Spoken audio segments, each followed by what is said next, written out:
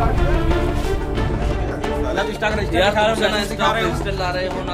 ला हो है तो आओ ना है रजिस्ट्रेशन सही अरे ये एक ये पता क्या है कॉमर्शियल टेस्ट डिपार्टमेंट का। तो फ़ूड का काम है?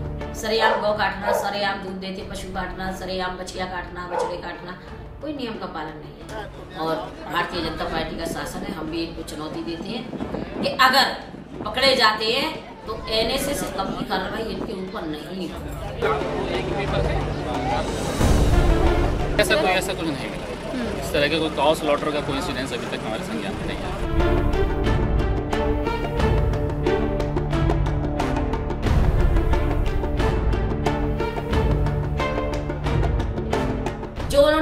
किया है।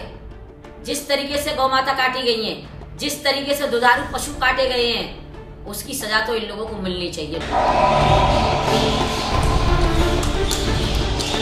हाथ ताला पकड़ से आप मुझे पकड़ो सुनो।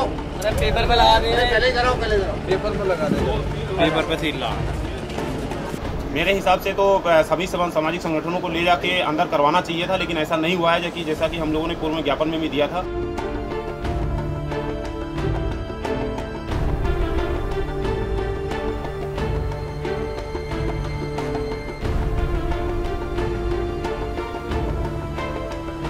हमने जिस सरकार को, जिस पार्टी को सपोर्ट किया, आज वही हमको रोड पे ला रही है। अच्छे दिन की बजाय बुरे दिन आ गए